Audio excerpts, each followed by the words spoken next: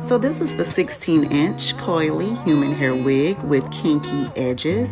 And as you can see, it also has a lace front. It is nice and full. This is the color number 34. It has the nice adjustable strap for the back and it also has a lace closure so that you can change your parts to suit your individual style. And there's also lace in the back of the wig. Now let's put it on.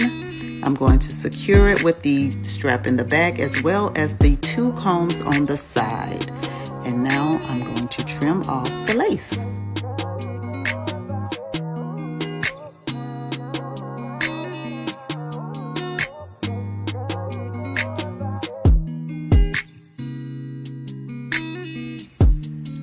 Now I'm going to start styling it. Just add a little bit of water and some foaming lotion.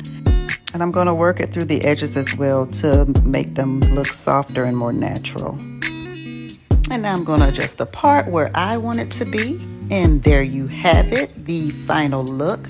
Another fabulous outcome and another fabulous piece from Ms Greyt. This too can be yours. Just click the link in my bio.